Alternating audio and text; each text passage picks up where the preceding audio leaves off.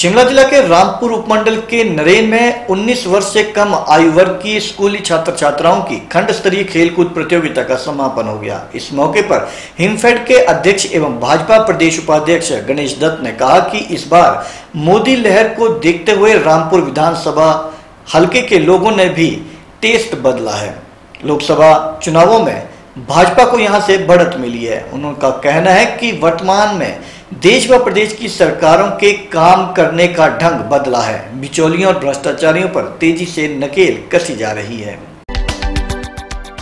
हिमफेड के अध्यक्ष एवं प्रदेश भाजपा उपाध्यक्ष गणेश दत्त ने कहा कि इस बार मोदी लहर को देखते हुए रामपुर विधानसभा हल्के के लोगों ने भी टेस्ट बदल दिया है और लोकसभा चुनावों में भाजपा को भारी बढ़त दिलवाई है। उन्होंने कहा कि वर्तमान देश प्रदेश की सरकारों के काम का ढंग बदल चुका है। बिचौलियों और भ्रष्टाचारियों पर तेज़ी से नकेल कसी जा रही है।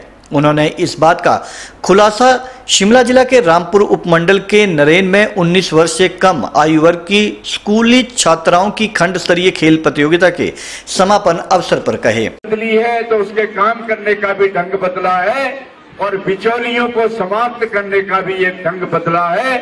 तो इसलिए सरकारें आती हैं, चली जाती हैं, लेकिन मुझे इस बात का बहुत गर्व है कि इस बार की सरकार का आप लोगों ने भी आकलन किया।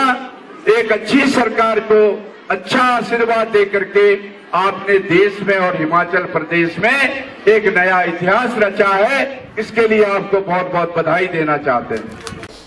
उन्होंने कहा कि स्कूली खेलों को बढ़ावा देने के लिए तेज़ी से प्रयास किए जा रहे हैं। शिक्षा के साथ खेलों का शारीरिक और मानसिक तौर पर होना आवश्यक है। इससे मनुष्य स्वस्थ रहने के साथ साथ बौद्धिक विकास भी होता है। उन्होंने कहा कि आज के युवा खेलों को व्यवसाय के तौर पर भी अपना रहे हैं। इस क्षेत्र में रोज़गार के साथ शोहरत भी शामिल है। उन्होंने कहा कि जिन स्कूलों के छात्र इस प्रतियोगिता में जीत नहीं पाए हैं, वे निराश ना हो। अगली बार इससे बेहतर प्रदर्शन करने का संकल्प लें।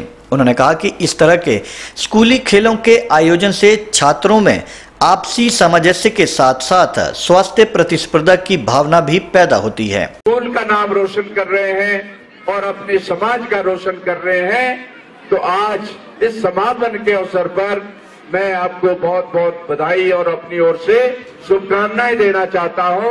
बच्चों, आपका निरंतर भविष्य उज्जवल हो और आप इस देश और प्रदेश के एक बहुत ही अच्छे नागरिक के रूप में आगे बढ़े।